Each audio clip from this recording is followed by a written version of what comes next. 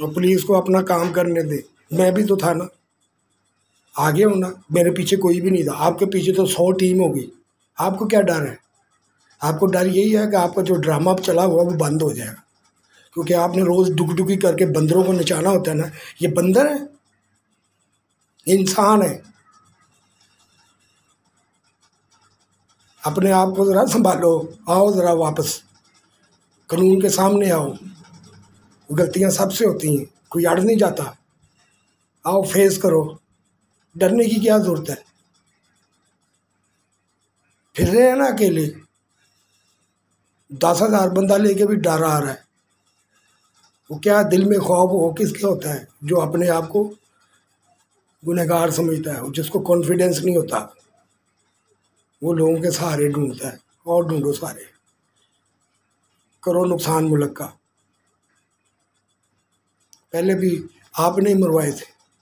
अब भी मर रहे हैं। वो जो जो कारकुन आपके मर रहे हैं, क्या आपने कभी मुलाकात की तीन घंटे तीन महीने वो उधर रहा, आता जाता रहा, कभी मौका दिया उसे मरने के बाद तो आपने बड़ा उसका ड्रामा किया? लोग आ जाते हैं। देख के जी ये बड़ा मसीहा है मसीहा क्या होता है? आपको पता है? मसीहा तरबियत देता है। लोगों की गाइडिंग करता है। लोगों को अच्छे अल्फाज देता है। आपकी तरह चोर, डाकू, ये वो नहीं कहता, सिखाता लोगों को। और डाकू जो होते हैं ना, उनको डाकू बोलना चाहिए, जो बच्चे चुरा लेते हैं लोगों के। कैसे बच्चे? ये चुराए नहीं हुए आपने? माँ बाप बैठे होंगे। आप उधरे करके उन्होंने गाली पवाते तुसी। बच्चिया माँ बाप के ख़िलाफ़ किया। ये होता रहा आज़ादी के नाम पे। अभी उनको अकल थी, तेरह, चौदह साल बच्चों को, बारह साल के बच्चों को अकल होती है? बताओ ज़रा।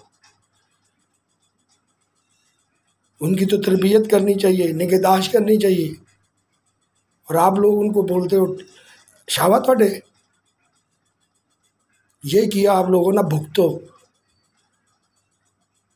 साहब, चंगे लोगों का अल्लाह हाफिज़। और मैं पुलिस का शुक्रिया अदा करता हूँ। आप स्मार्टली काम लें, ये जाने वाले नहीं हैं।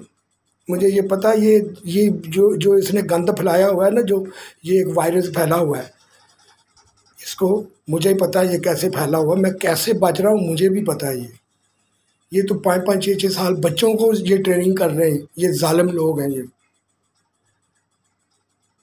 ये इतने जालिम हो चुके हैं, और पहुँचो जालमों तक। और जो आम बैठे हैं, उनको आप भी नहीं पकड़ते। उनके पीछे ये आएगा ना पहले इसका सर ना पकड़ो। अल्लाह हाफिज़।